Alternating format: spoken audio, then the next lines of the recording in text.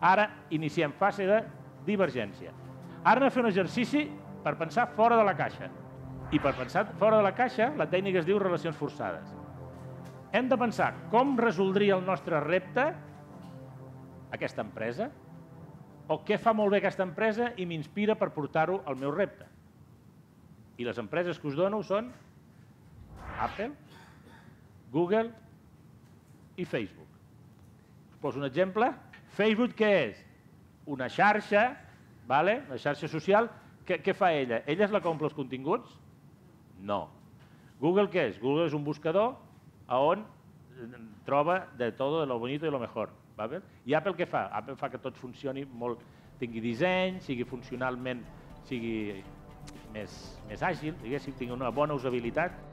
Sempre és el mateix, eh? Una idea, un pòsit, majúscules, busquem idees esbojarrades, sempre és el mateix.